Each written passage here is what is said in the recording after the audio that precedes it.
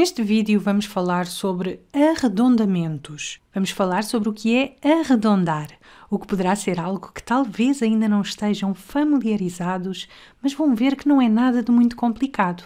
E vamos começar por pensar no que será arredondar à dezena mais próxima.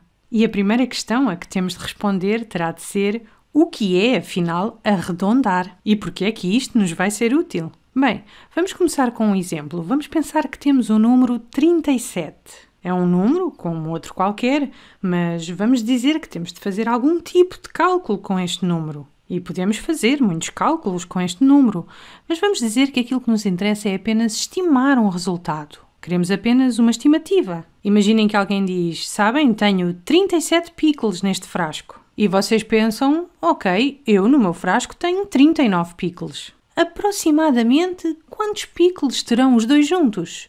Não precisamos de uma resposta exata, queremos apenas uma estimativa. É aqui que arredondar vai ser útil. Mas vamos então focar-nos no que é que será que significa arredondar à dezena mais próxima. Quando aquilo que queremos é arredondar um número à dezena mais próxima, vamos ter de olhar para o número e pensar no que está a acontecer na casa das dezenas. Aqui, neste nosso exemplo, vemos que na casa das dezenas temos um 3 e este 3 representa 3 dezenas. O número 37 corresponde a 3 dezenas e 7 unidades. Portanto, corresponde a mais do que 3 dezenas e também é inferior, é menor do que 4 dezenas. E, portanto, este número vai ser maior do que 3 dezenas, e podemos representá-lo como 3 dezenas e 0 unidades, ou seja, 30.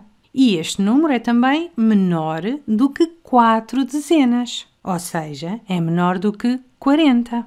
E como o que queremos é arredondar este número à dezena mais próxima, esse arredondamento irá corresponder ou à dezena inferior ao número, ou à dezena imediatamente maior do que este número. Mas como é que sabemos, como é que decidimos se 37, arredondado à dezena mais próxima, vai corresponder a 30 ou a 40? Bem, para respondermos a isto, vamos começar por experimentar uma estratégia visual. Vamos traçar aqui uma reta numérica. E para começar, vamos contar de 10 em 10, não esquecendo de incluir o 30 e o 40. Vamos então dizer que aqui fica o zero, vamos dizer que aqui temos o 10, aqui o 20, aqui o 30, aqui o 40 e já nos chegava, mas já agora vamos dizer que aqui está o 50. E considerando esta reta, onde é que ficará o 37? Bem, fica entre 30 e 40. E se quisermos tornar isto um pouco mais claro, podemos ainda acrescentar aqui uma marca que irá corresponder a 35. Uma marca que fica exatamente a meio entre o 30 e o 40. Temos aqui o 35. E nesse caso, o 37, o 37 vai ficar mais ou menos por aqui. Vamos dizer que aqui temos o 37. E assim, quando o que queremos é arredondar à dezena mais próxima, e recordem-se que o que queremos é decidir se a dezena mais próxima é o 30 ou o 40, aquilo que precisamos é de perceber de qual destas dezenas é que o 37 está mais próximo. Está mais próximo de 3 dezenas de 30 ou está mais próximo de 4 dezenas de 40. Olhando para o sítio onde marcamos o 37, conseguem observar que ele está muito mais próximo das quatro dezenas. E por isso, nesta situação, o 37 arredondado à dezena mais próxima vai ser 40. Vamos ver outro exemplo. E se tivéssemos antes o 32? Como é que o arredondávamos à dezena mais próxima? Bem, o 32 vai ficar mais ou menos por aqui, e olhando para o sítio onde ele se encontra na reta numérica, percebemos que mais uma vez estará entre 3 dezenas e 4 dezenas. Mas desta vez este número está muito mais próximo das 3 dezenas, e por isso 32, arredondado à dezena mais próxima, irá corresponder a 30. Agora, uma pergunta interessante e que talvez se estejam já a perguntar é o que é que acontece se o número que queremos arredondar se encontra exatamente a meio entre duas dezenas? O que faríamos se nos pedissem para arredondar à dezena mais próxima o número 35?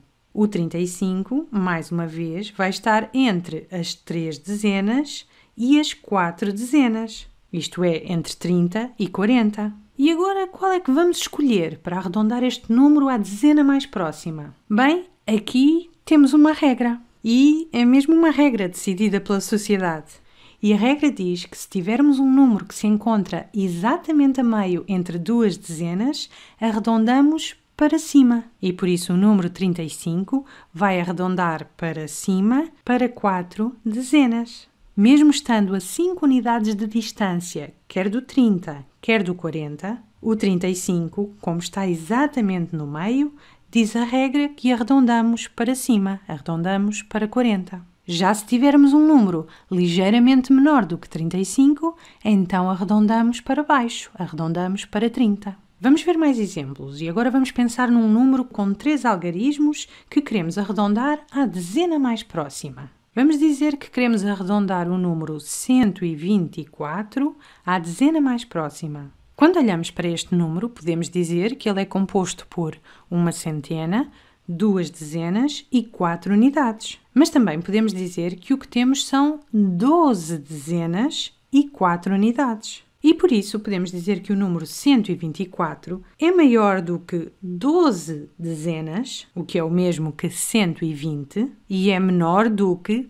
13 dezenas, o que é o mesmo que 130. Estas são as duas dezenas que estão mais próximas de 124. E depois, para decidirmos de qual das duas o número 124 está mais próximo, talvez consigam já tomar uma decisão baseado naquilo que já fizemos antes. Vimos que uma das estratégias seria recorrer a uma reta numérica. E desta vez não vamos começar no zero, porque precisávamos de ir até ao 130 e ia ficar muito extenso. Por isso vamos começar, eh, vamos começar no 100. Aqui temos 110, por aqui vamos ter o 120, aqui temos 130 e aqui o 140. Temos então uma parte da reta numérica e vamos também indicar aqui a marca que corresponde ao meio entre estas duas dezenas, a marca que nos indica o 125. E agora o 124. Interessa-nos perceber onde fica o 124. E o 124 irá ficar mais ou menos aqui. Vamos dizer que aqui fica o 124. E o que queremos é perceber entre o 120 e o 130